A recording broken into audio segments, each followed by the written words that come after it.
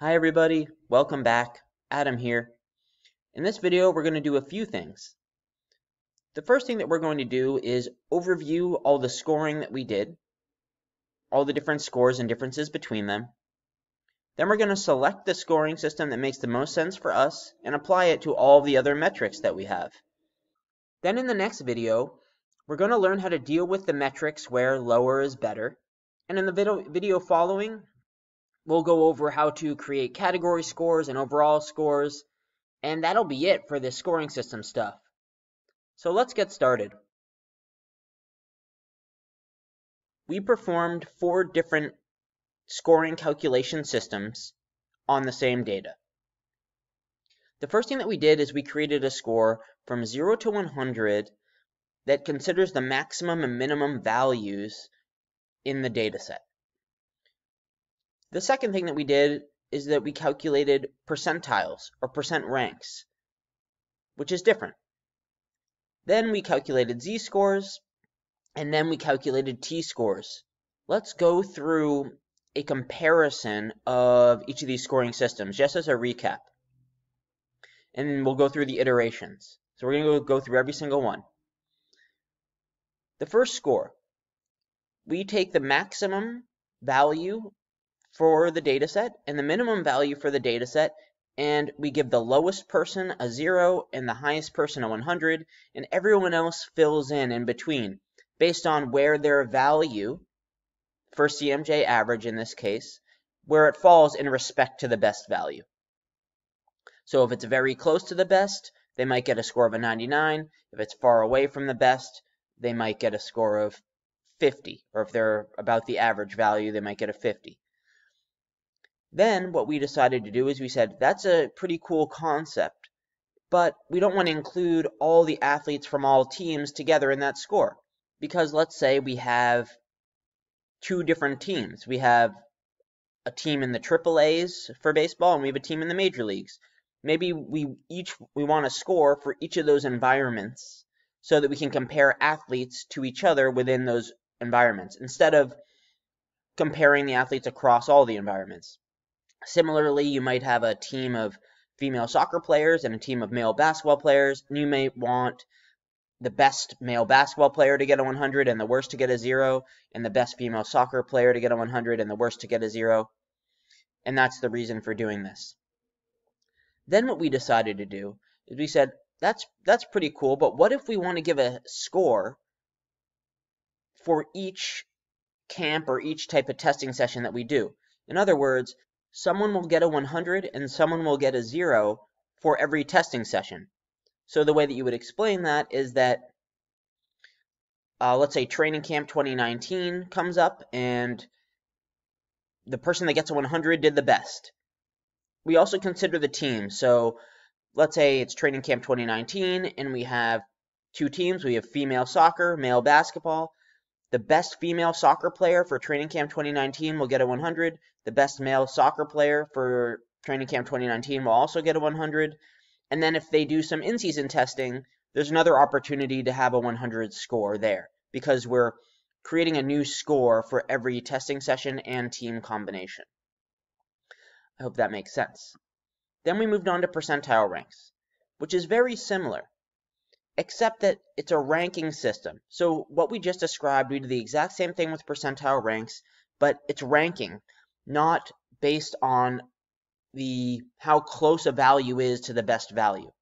So what I mean by that is if I jump 100 inches and you jump 99 and everybody else jumps around 50, that's not going to be reflected in the score because it's just ranked. So a 100, the difference between 100 and 99 will be treated the same way as the difference between 99 and 50, if 50 is the next best value.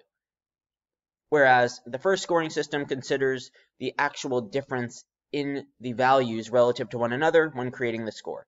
So essentially we just did the same thing that we did except as a ranking system. Then we calculated z-scores, which include negative and positive numbers and consider the variance in the scoring, or the variability in the numbers, because we take the average value and we take the standard deviation value of whatever the criteria is, the same type of criteria that we took before. So we did three different z-scores. The first one, we took the average value and the standard deviation for the entire database and give you a z-score based on that. Then we took the average and standard deviation uh, value for the team that you play for and gave you a score based on that, so relative to your team. And then we did the same thing for the team and the event. So you get a z-score um, compared with the cohort for your team for the event in question.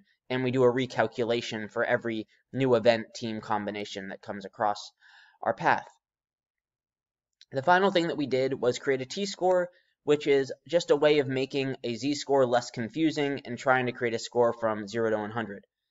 Essentially, a t-score is a z-score, but it looks different. It's like converting Fahrenheit to Celsius, if you will. We take the z-score and we say a z-score of 0 is equal to 50 because we assume that's the average of the population. And then we multiply um, what the z-score is by 10 to give it a difference based on the number of standard deviations that that athlete is away from the average. An example is that no matter what, so if someone has a z-score of 0, they get a 50, their average. They have a z-score of plus 1, which means that they're one standard deviation above the average. They get 50 plus 1 times 10, so they'll get a t-score of 60. And if there are two standard deviations above the average, which is way higher, they'd get a t-score of 50 plus 2 times 10 or 50 plus 20, which gives them a t-score of 70. And if someone has a z-score of minus 1, which means they're one standard deviation below the average, they'd get a t-score of 50 plus minus 1 times 10, or 50 minus 10, which is a t-score of 40. So instead of looking at a z-score of minus 1, we're looking at a t-score of 40, which we know is below the average because 50 is average, and it's just a different way of looking at that same information. There are some limitations. If you have outliers that have very high z-scores, anything greater than 5, or very low z-scores, anything less than 5, you might get a t-score that results in a number that's less than 0 or greater than 100. So those are our different scoring systems. I hope that's helpful. And now I'm going to pick one and apply it to the other metrics, and, I'll, and I'm going to remove the rest of them. However, if you decide to purchase this file, or if you just want to keep these scores and apply them all, that's that's fine. It'll slow down the file, but if you purchase the file, you'll end up getting all this scoring system for every metric, and you'll still be instructed to pick one. Um, but in any case, we're going to pick one here and just apply it to all the metrics. And an important note here, don't just pick the one that I pick.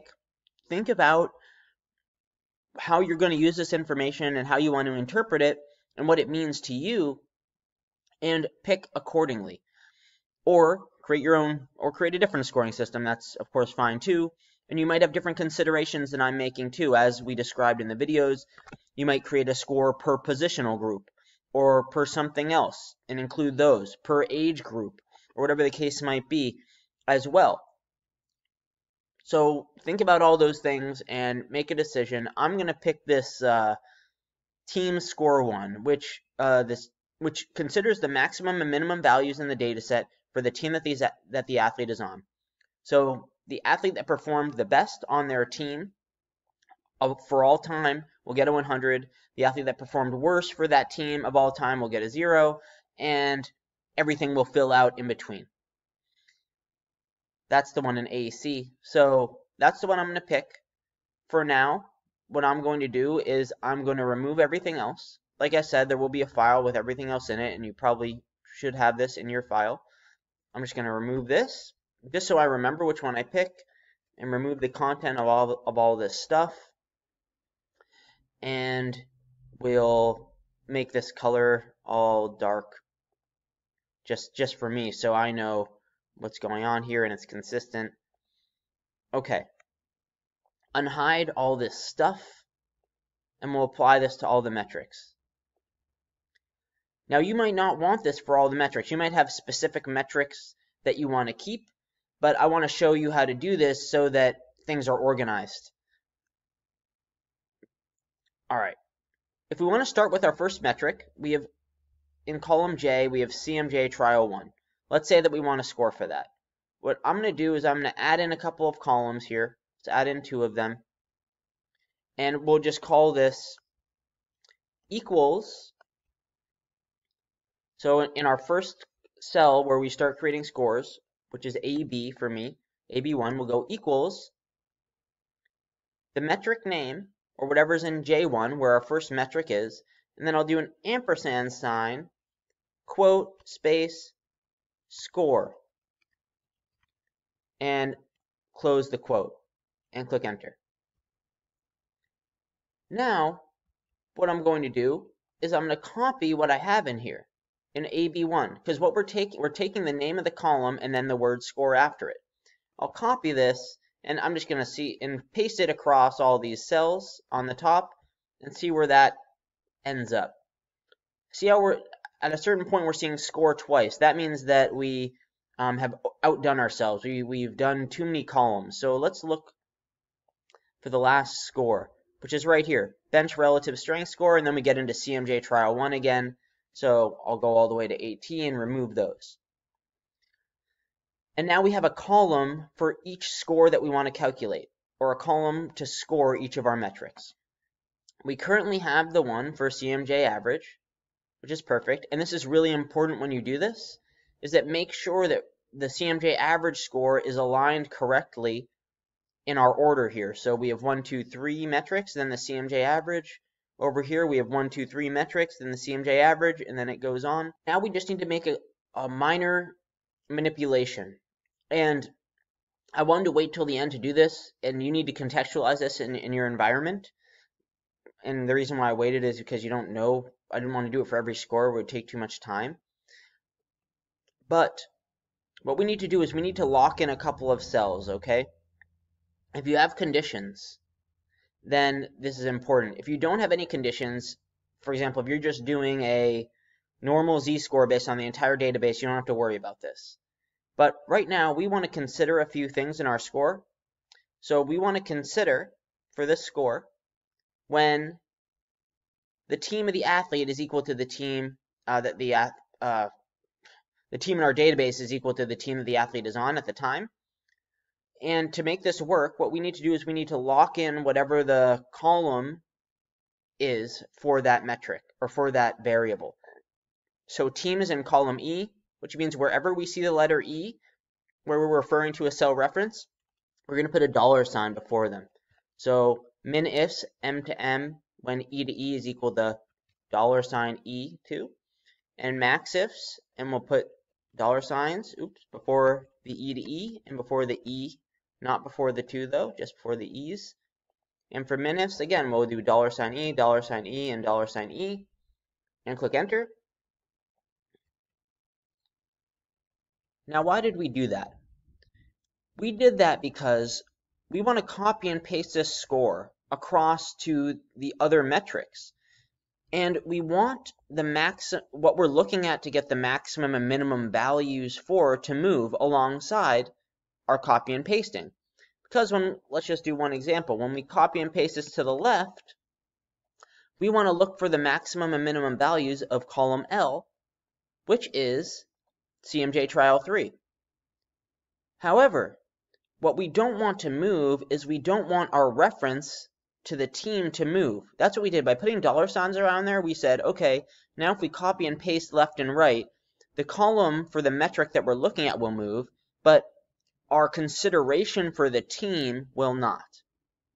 So we're controlling our variables that we don't want to change in our scoring considerations um, we're controlling them by not having them move when we paste this across, but we're allowing for the metric that we're looking at to move as we paste it across so that we can get a score for each metric. I hope that makes sense. But what this allows us to do is we can copy any of the, either of these formulas and paste them across all of our metrics that we have here.